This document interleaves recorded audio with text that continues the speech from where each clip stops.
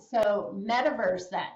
So I'm looping gaming into metaverse just because it was easier to do so. But there's so many. One of the key things I saw across all of our business units, so we have memory, system LSI, foundry, display, um, was everybody was looking at automotive and metaverse in different ways. So um, Sarah, I'm going to put you on the spot first this time. From a metaverse perspective, you know, it's not the long sales cycle that you have from automotive because things are happening like this. So where do you see the semiconductor industry really getting involved or further involved, I guess I should say, for metaverse? So the, the metaverse is, is interesting. I think maybe I, I come with a little bit of skepticism, right? Because I, I remember living, when I previously worked for Siemens, uh, Second Life was big for a while, and and and everyone thought, all right, this is going to be a new space where where where we're going to create sort of a, a parallel world, and we, things are going to be different in that world, and it sort of fizzled and died. And and I'm I'm been thinking, you know, what what went wrong then that's different that will be different now, right? And and and it seems like one piece that is interesting is the, the physical devices that we would use to interact with the metaverse, right? I think if that can change, if those can be substantially better, you know, the, the, the be it glasses or, or you know, handsets yep. or something, uh, then then then I think the, the metaverse has has some real appeal. But I think um, it feels like the, the interaction, the sort of user interfaces, I'd like to see them getting a whole lot better uh, than they are right now. Yeah, I agree. And that applies for gaming too, yeah. right? I think, you know, I love to see a step change in, in how we interact with content. Um, yeah. and, and I'm assuming that would be a new physical device. Yeah, absolutely. Dee, what about you for the metaverse? Oh, the metaverse. I could talk for hours about the metaverse because what what isn't included in the metaverse, right? it's everything.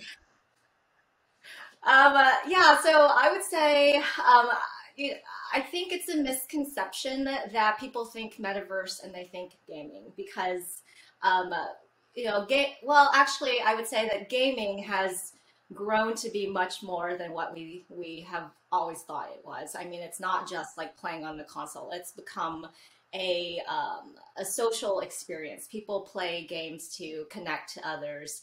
Um, and you know now there's cloud gaming and you can like access um, gaming entertainment in like a variety of different ways. And so to me um, when i think of the met- of metaverse i um, i think of people attending um, you know, particularly with covid and and, and in-person events being so um, uh, restricted um, people attending concerts, people getting together in a space that is, um, you know, like a, a, separate reality. And I also think of, you know, I was on, I was um, on a trip uh, a couple weekends ago, and um, there was, um, you know, a 13 year old boy who, who, who, a family friend who came along with us, and he had the Oculus Quest, and so he was using that, playing the games, showing it to his grandparents his grandparents were like, we're going to get this um, uh, in the next few months. And then I can imagine him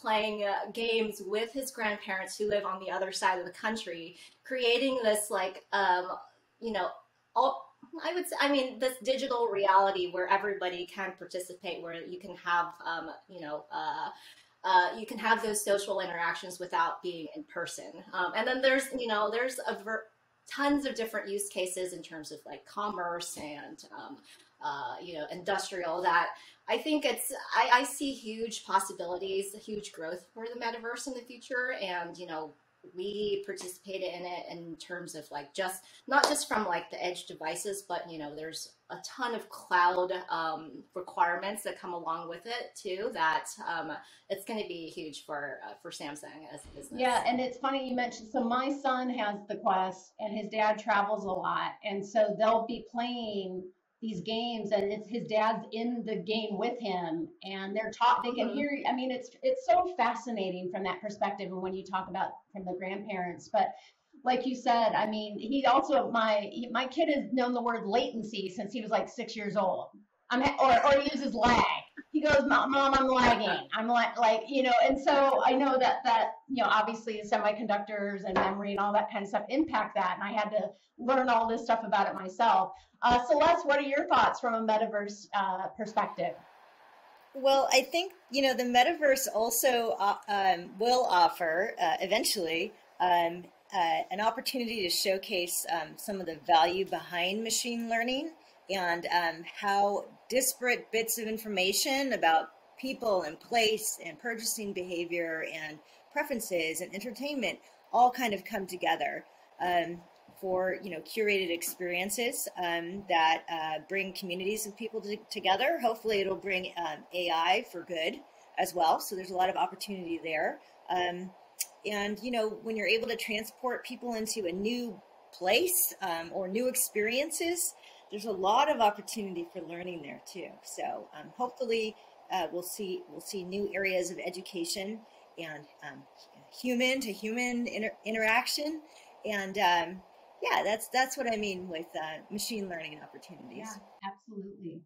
Bridget, what about you? Um, I was just I was thinking along the same lines as Celeste with like the educational opportunities I think are amazing. And um, I feel like we're just at the beginning of what is just, you know, the possibilities for it are are endless with what we can do with you know AI and machine learning. Now it's like it seemed like it was so far away before, and now it's like it's accessible to you know, so many people. It's not this like far off, you know, dream. So, um, I, yeah, I don't think it's going away, and I think it's a huge opportunity for uh, Samsung to be, you know, get in, you know, to be involved like right at the beginning. So, Sonia, what about you? Yeah, I um, agree with the Sarah how to make the device more convenient, user friendly, more for the reality. Um, we talk about Quest, but uh, you have to wear the very bulky, you know, headset to play around. So, yes. so that's also the area display is working on. We want to, you know, minimize, uh, you know, the size, and with a higher memory and a processing speed, those things. So I think I, I think does have a lot of potential not only for gaming but also education, even medical industry but uh, how to make the, the device to be easy to use. That would be yeah. a very important thing, which is also the very good opportunity for Samsung to put it all together for the consumer. Okay, get right on that. yeah because i've seen i've seen like i agree like for me whether it's the the smaller glasses or whatever at some point the device is may become your phone, you know, where it's not so you aren't having to do one or the other. You're in there and you're actually doing that. Yeah. It's going to be really interesting, especially from the display side. Mm-hmm.